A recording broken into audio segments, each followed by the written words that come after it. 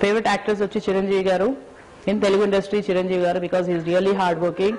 he's come from a small stage and villain దగ్గర నుంచి hero అయ్యి you know he really struggled a lot so I I respect who ever struggles in their life for the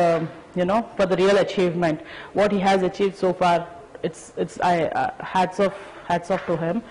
Chiranjeevi గారు అలాగే NT NT Ramarao గారు and ఇంకెవరు లేరండి నా నా నాకు ఫేవరెట్ తెలుగు ఇండస్ట్రీలో coming to Bollywood my favourite is Hrithik Roshan he's smart he's handsome he's hunk